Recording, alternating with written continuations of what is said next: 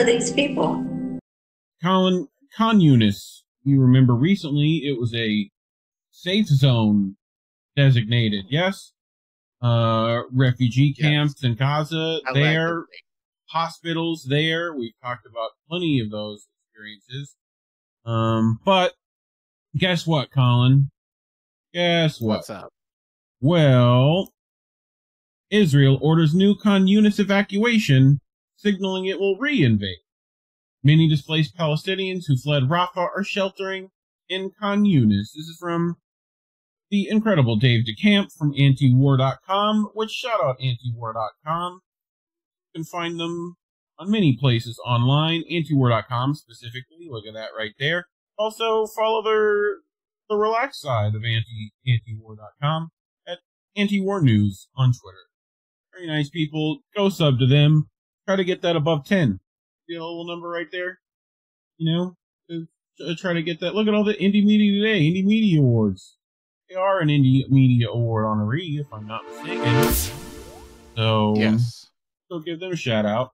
Um, but Dave DeCamp writes Israel has ordered Palestinians to evacuate from the eastern point of Khan Yunis, signaling its forces are preparing to reinvade the southern Gaza city, which has mostly been destroyed by the previous Israeli assault. Many of the over 1 million Palestinian civilians who led the Israeli assault on Rafah have been sheltering in Khan Yunis and are being forcibly displaced again, according to the AP. Palestinians have been told to go to the nearby Al Mawasi camp on the coast, which Israel has declared a safe zone. But like other so-called safe zones in Gaza, the camp has come under repeated Israeli attacks. Funny how that works. Funny how that mm. works. Israeli forces withdrew from Khan Yunis in April and left the city in complete ruins municipal officials estimated the Israeli assault destroyed more than 80% of the buildings in Khan Yunis and left the rest mostly uninhabitable. Israel said it destroyed Hamas battalions military in the city claimed victory. Then why are you reinvading? What happened? What I thought you I thought you I thought victory mission accomplished, right? Yeah. Anyway, Another planned invasion signals the Palestinian group could be reestablishing itself, as it has in other parts of Gaza disseminated by the Israeli military. The guys, they're everywhere. They're coming back. They're like the Undertaker. We we kill them and they just keep coming back. We don't understand. Israeli Prime Minister Benjamin Netanyahu insists his goal is still to eliminate Hamas in Gaza, even as his own military has said the goal is impossible this business of destroying Hamas, making Hamas disappear, simply throwing sand in the eyes of the public, Israeli Defense Forces spokesman Rear Ad- Admiral Daniel Hagari said last. Um, Hamas is an idea. Hamas is a party. It's rooted in the hearts of the people. Whoever thinks we can eliminate Hamas is wrong. Where's the lie? Um. Anyway, on Sunday, Netanyahu again vowed to continue his genocidal war if Hamas is eliminated and rejected the idea of a permanent ceasefire. Okay. He, I, it, who did? Well, you notice. I, well, I've noticed that. I think because Biden is basically a corpse at this point. Like no one has been talking about Israel and Gaza ad nauseum. Come on, man. But but no one talks about everyone's like, oh, we're looking for a ceasefire, we're looking for a ceasefire, looking for a ceasefire. Bibi has said multiple times, I am not interested in a fucking ceasefire. So uh-huh. what do you suppose you're going to do Says and they also don't tell you about all the peace deals and hostage negotiations Hamas has already accepted. Accepted, which people are now uh, even online are saying that's not happening. I'm like, yeah, oh no, Jesus Christ! Like, no, their own generals you know, are saying that's not happening. That there's been no intention of accepting a hostage negotiation.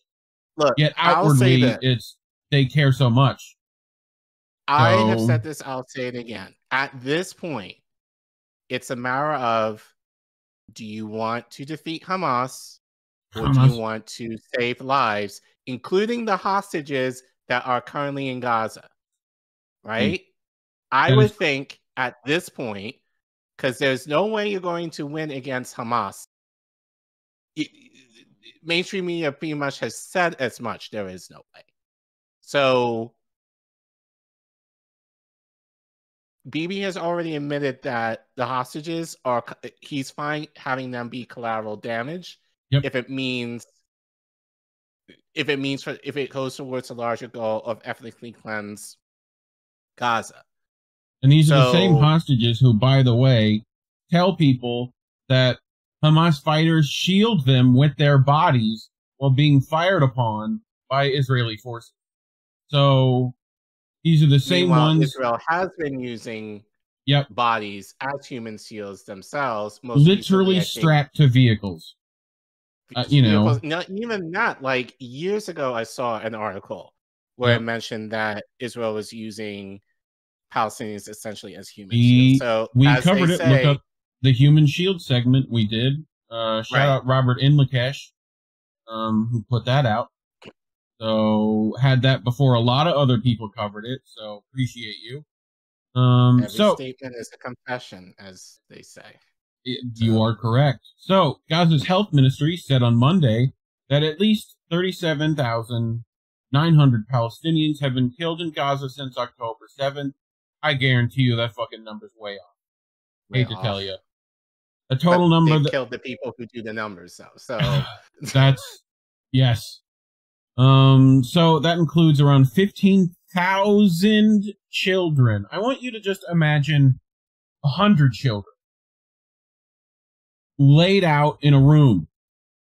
Now imagine them all not existing. Now multiply that by 150. Like, think of a thousand children. It's a football field of, of little toddlers. Okay? Uh, big, these numbers are hard to grasp. So, please do try to do that math in your head. But the actual number is likely more higher as the health ministry's numbers don't account for the thousands dead under the rubble and the breakdown in communication in Israel's destruction of health facilities has impeded the counting of the dead. So, luckily we have places like Al Jazeera who are documenting this as best they can.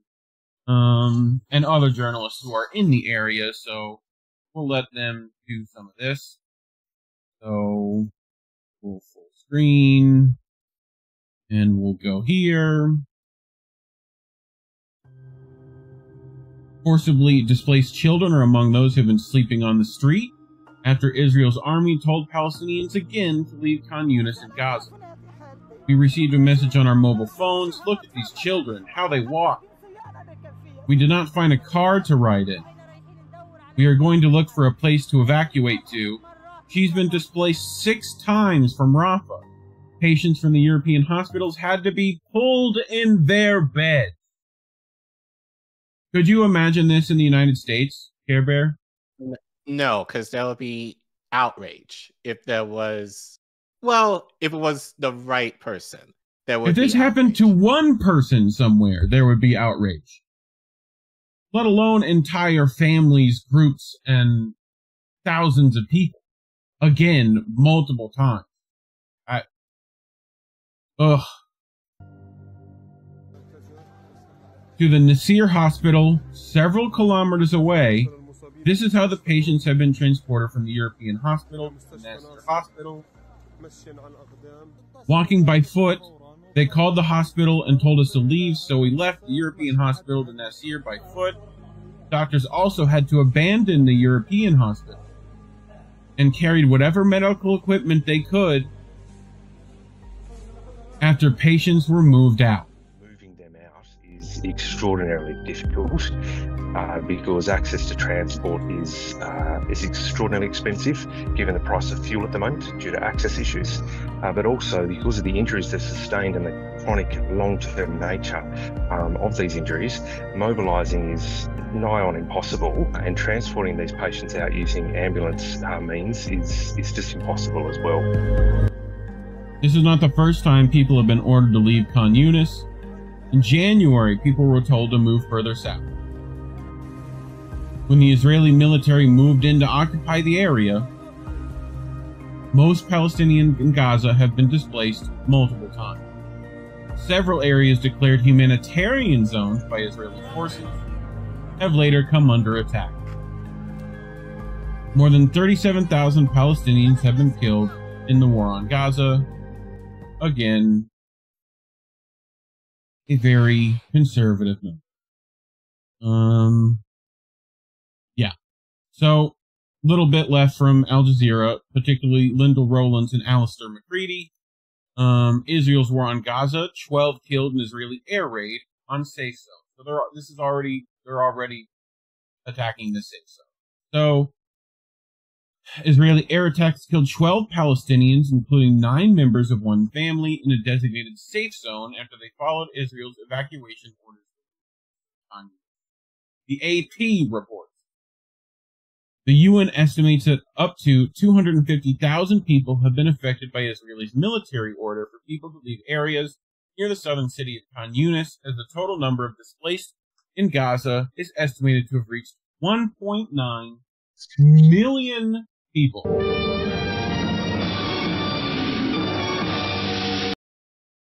Like, what's that? Three times the population of Rhode Island? You know what I, I mean? Like, like, after hundreds of sick and wounded people fled the European hospital in Khan Yunis, only three patients remain, says WHO Representative Rick Peeperkorn pleading for the hospital to be spared from attacks as an Israeli ground invasion looms. The killing of four people in an Israeli air raid on the Nur Shams refugee camp in the occupied West Bank brings to six the total number of Palestinians that have been killed in the area in the past 24 hours, including a woman and a child. Collin, any any questions, concerns, thoughts? Hmm. Concerns. Yeah. But how long does this have to go on before people actually give a damn and do something? And given that Bibi is going to be visiting my neck of the woods in the next few weeks. Yeah. So um, watch your back out there, homie. Yeah, I mean, yeah, screaming at Bibi, fine but that's not going to help the issue because it's deep seated within the ideology of Zionism. And yeah. um I was reading something earlier today um that basically I forgot exactly what it said, but essentially it was the idea of you know, being Jewish it's essentially it's a religion of peace and that to go against that in kind of what is happening in Gaza right now is essentially going against. Oh yeah, the they're all they're all going to whatever hell they believe in, but you know, uh, right. I actually well, I remember because this is in terms of this is actually not in terms of Jewish, but I think in terms of a Christian. Like if a Christian was doing something like this, you know, it would kind of you're not considered because the idea of being a Christian is to be like Jesus. So yeah. if you were complacent in this, you essentially are not mm-hmm. Jesus. So uh, yep. obviously, like Judaism, you don't have necessarily a correlation to that, but at, at the same time, but I can talk about in terms of you know, it's supposed to be a faith of peace. It's supposed to be yeah. a faith of thinking about others. So, especially those who are different from you. So, the idea that in the name of, and I can't even say it's not even in the name of religion. That's the thing. It's just like, no, it's the the religious aspect of it is just kind of shut down. This is more in terms of almost like revenge to me. Like, yeah, well, it's these people took our land, and because this land was promised to us by God, that, mm-hmm. and I'm I'm keeping it very basic. Like, Yeah, it's it's rooted it's it. rooted in this right here. That's what it's in part, in. but in in part, but it's just the idea that people are not the people that need to be saying something are not. Well, it's also And I'm one of the firm opinion that religion doesn't help this matter and hasn't helped this matter for centuries and decades and eons. But no, you know, I find that But- for all of them, none of the above for me. Right. right. But um I my my my point was that as you said, this is affecting children. Yeah. So if you have a heart, you should be a little bit more mindful of what you're doing that is terminating bloodlines. Yeah. And you being complicit in that. Like if that happened here, we wouldn't hear that. Now, granted, I would argue if you're a person of color, you might they might be able to get away with. It. But like if you're of a certain class, especially, there'll be a lot more outrage. So the idea that Palestinians are considered less than and not even considered human, I think Yeah. it's and I think at the end of the day, that's what kills me. It's the idea that if you believe that every human has unalienable, unalienable universal rights, essentially the right to exist, that includes Palestinians. So the idea that they're being murdered for what reason? Like, no one is necessarily talking about. And and then Mm. it's just the idea of obfuscating and gaslighting to justify what is going on. Where we know if it happened in the reverse, there would be a lot more conversations, I would say, about it. for sure. I mean, well, while Netanyahu's in D.C., may may we hope he falls into a slow operating wood chipper, but you know, that's just me acc- accidentally, accidentally, hopefully. Um, but you know, talking about these things is why we're demonetized. Go to kodashv.com slash indie news network, description below, in the QR code with your little smartphone there or if you're in the live chat, put exclamation mark donate. Ko-fi and let you donate that way. Uh, all other ways to donate are in the description below. Um, and if you can't give monetarily, liking and subscribing is very helpful. Um, you know, we're heavily suppressed, so any sharing you can do, we're gladly appreciated. And, you know, leave a comment. Let us know what you think. Um, Otherwise, thanks for watching.